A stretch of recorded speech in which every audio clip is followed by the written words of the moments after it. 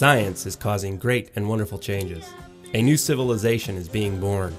Old assumptions with their associated customs, creeds, and cruelty are passing, and a new paradigm based upon vision, faith, and service is taking their place.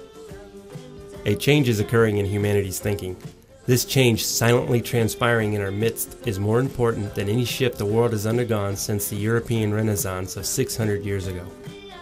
The whole world is on the eve of a new consciousness, a new power, and a new realization of the resources within the self.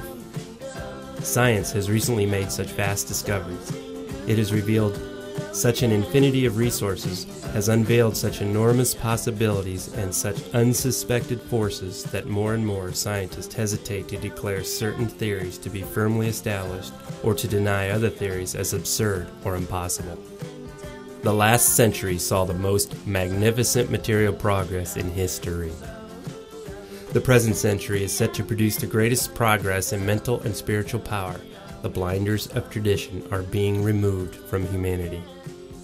As the last limiting vestiges of materialism are being released, human thought is being liberated to reveal truth fully formed before an astonishing multitude.